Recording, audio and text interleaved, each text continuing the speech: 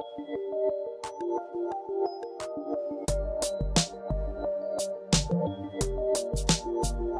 you.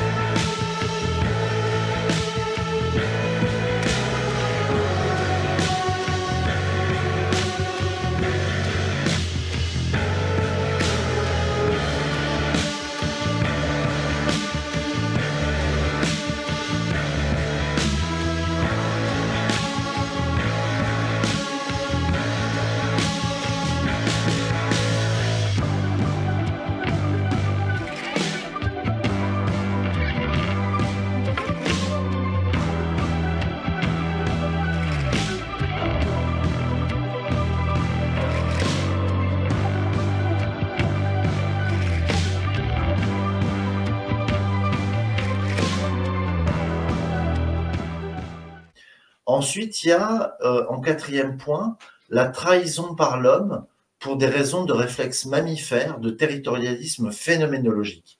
Alors, c'est ça qui, est important d'étudier, c'est euh, comment, à travers l'histoire, l'homme a trahi euh, donc les, trois premiers paradigmes pour des raisons qu'il faut surveiller en nous, à savoir ce fameux réflexe mammifère de territorialisme et ce territorialisme, il faut le comprendre cette fois non pas en tant que querelle géopolitique, mais en tant que querelle phénoménologique, c'est-à-dire par rapport à nos stations spirituelles, par rapport à nos, la, façon dont nous organisons le, réel métaphysique dans des conceptions différentes, selon les, spiritualités, selon les traditions, selon les, cultures.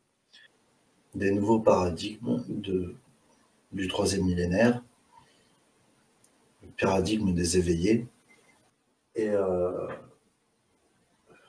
on va parler de territorialisme phénoménologique. Le territorialisme phénoménologique, c'est ce qui est un réflexe mammifère appliqué au territoire de la pensée, de la conscience. Le territorialisme phénoménologique, c'est finalement, voilà, j'ai une idée, elle m'appartient. Je vais la protéger de droit. Ou bien, je vais la propager, mais je vais protéger la communauté de ceux qui en disposent de toute intrusion euh, d'une pensée étrangère, d'une pensée qui ne va pas dans le même sens, d'une pensée qui ne dépend pas de moi, qui ne dépend pas de moi ou de ceux à qui je vais léguer ma pensée. C'est un territorialisme phénoménologique. C'est un réflexe de mammifère appliqué à la conscience. Et donc, on comprend que dans cette perspective, le territorialisme phénoménologique a entraîné la division géothéologique, c'est-à-dire la division sous l'angle de la géographie des religions.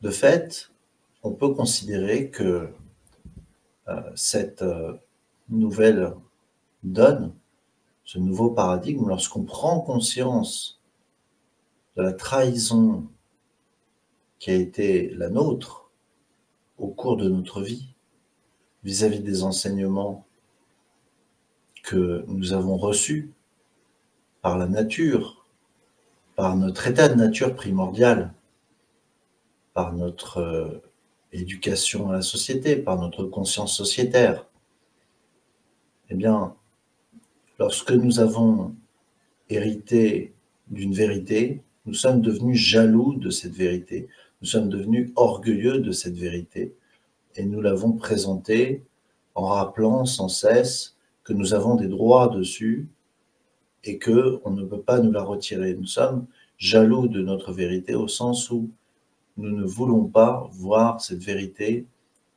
être euh, rapetissée par d'autres vérités qui nous seraient étrangères, qui ne résonneraient pas dans notre sens, qui ne feraient pas résonance, qui n'entreraient pas en résonance avec notre pensée. C'est donc ça le, territorialisme phénoménologique finalement.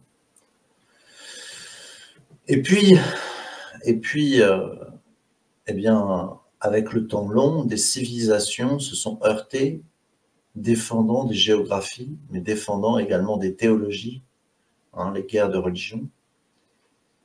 Et finalement, ces guerres de religion ne sont rien d'autre que la poursuite de la territorialité phénoménologique, c'est-à-dire l'espace occupé dans le champ de conscience par les idées d'un nombre d'individus qui se sont regroupés. Donc, on peut dire que, en ce qui concerne l'intersubjectivité, c'est-à-dire le partage de la subjectivité dans une culture, cette intersubjectivité ne fonctionne que lorsqu'il y a une bonne gestion de l'écosystème de cette territorialité phénoménologique. Et c'est ça qui fait la santé d'un groupe. Donc c'est la clé sociologique, historique, phénoménologique, philosophique. C'est la clé qui permet de comprendre comment un groupe peut fonctionner en harmonie. C'est une ergonomie et une écologie de cette territorialité phénoménologique. Et en même temps, nous constatons que la meilleure écologie, c'est quand le groupe peut rentrer également en interaction positive sans être jaloux de sa vérité vis-à-vis des groupes qui lui sont concomitants historiquement et qui lui sont voisins géographiquement. Donc, il est important pour euh, les nouveaux paradigmes qu'ils soient bien fondés, comme nous l'avons vu précédemment, sur des valeurs et des croyances universelles, on peut parler de croyances, il n'y a pas de problème avec les croyances, du moment qu'elles sont universelles. Le dominus universel émane de l'intelligence évolutive. qui est compris grâce au second paradigme, celui que nous avons vu précédemment sur la chaîne, à savoir la consubstantialité de tout étant dans l'univers. Donc, les trois premiers paradigmes sont liés et nous montrent la clé pour que cette écologie et cette ergonomie fonctionnent dans le cadre de la territorialité phénoménologique.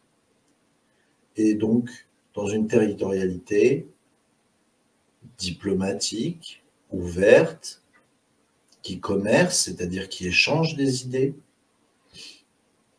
qui nomadise, c'est-à-dire qui permet, qui laisse libre cours à chacun de se faire sa propre opinion, de bouger, de se contredire, de résoudre cette dissonance cognitive, puisque c'est dans le champ phénoménologique, donc dans le champ cognitif, et que dans ce champ, eh bien, on peut être amené à chercher des réponses que l'on n'a pas trouvées dans cette idée, ou dans ces idées partagées dans l'intersubjectivité.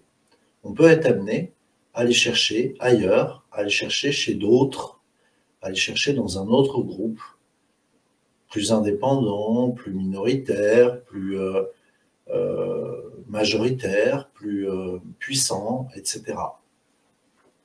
Cette liberté d'opinion est précieuse.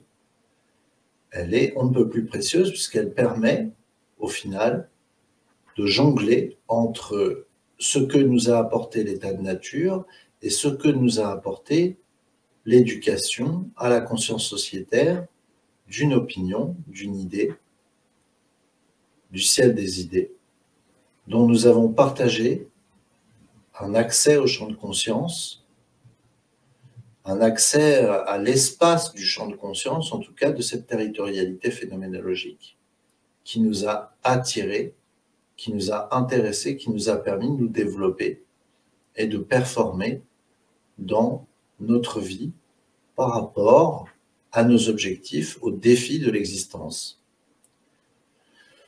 C'est ainsi que la territorialité représente également la possibilité d'un développement, un développement à la fois personnel et collectif.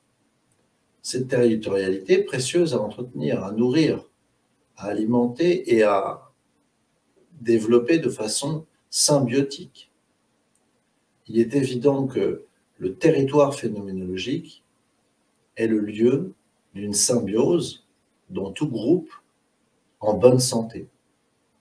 Lorsque ce groupe devient dirigé ou surveillé par des milices euh, vampiriques, eh bien, ce groupe tombe malade et n'attire plus que des pervers.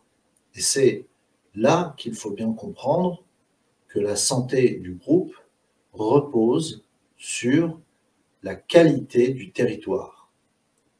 Donc le, le territoire des idées occupé par le groupe ne peut être ne peut être véritable que si le groupe l'entretient et l'entretient avec intelligence et intégrité. C'est pourquoi on peut dire que tout groupe a besoin d'un territoire qui soit euh, en lien avec les territoires voisins de manière à faire écosystème, mais aussi à ce que ce territoire soit accueillant, agréable et habité par une population agréable, utile, bonne et belle sur le plan de l'âme. Hein, l'âme, l'intelligence du cœur, étant le lieu où se rendent intelligibles les choses du cœur, étant le lieu où la phénoménologie trouve finalement son point de jonction avec ce qu'on appelle la zone de confort, un confort intellectuel, un confort moral. C'est donc là que l'on trouve la clé euh, finale par ce quatrième euh, paradigme des nouveaux paradigmes du troisième millénaire, la clé formidable par laquelle nous comprenons ce qui repose en nous, à savoir notre capacité à faire entendement de notre nature avec les autres par la conscience et que grâce à la conscience, nous fassions société collectivement de manière responsable, utile, bonne, belle, saine, et que nous grandissions ensemble un chemin pour accéder à cette conscience et que nous travaillons à faire des chemins les uns vers les autres, des ponts les uns vers les autres par ces idées du champ de conscience qui nous relie harmonieusement, quel que soit l'angle par lequel nous abordons cette question, ce sujet, cette réalité, cette vérité.